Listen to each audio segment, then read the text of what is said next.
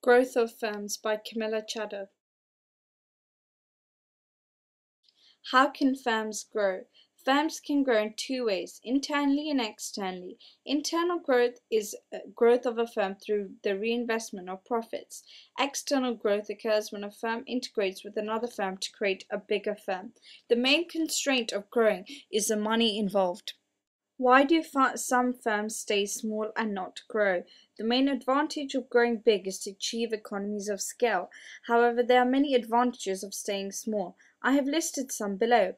For example, they are easier and cheaper to set up. There is less paperwork or red tape involved.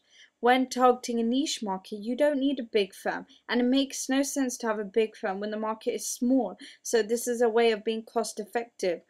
They can provide a more personal service to consumers and better treatment to employees, easier to react to changes in the market, i.e., demand and supply.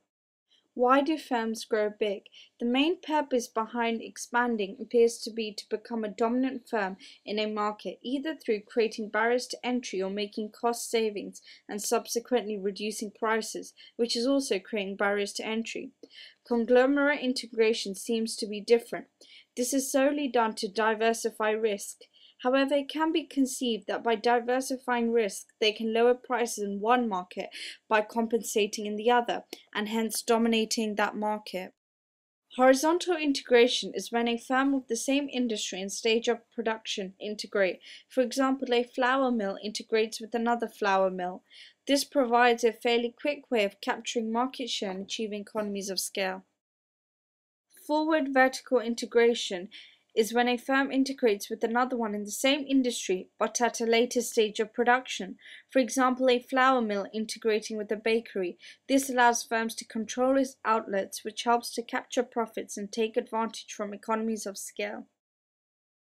Backward vertical integration is when a firm integrates with a firm in the same industry but at an earlier stage of production. For example, a flour mill integrating with the arable farm.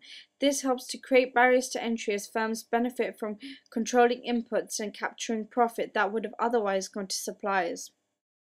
Conglomerate integration is when firms of two different industries integrate. For example, when a flour mill integrates with a cinema chain. This helps to diversify risks for firm and to achieve certain economies of scale, for example, financial economies of scale. Demergers are when two firms split. So why does this occur? It occurs to improve communication and managerial control, to increase motivation within staff. It is a quick way of raising finance and perhaps to increase profitability by getting rid of diseconomies of scale. Thank you for watching. Please visit my blog.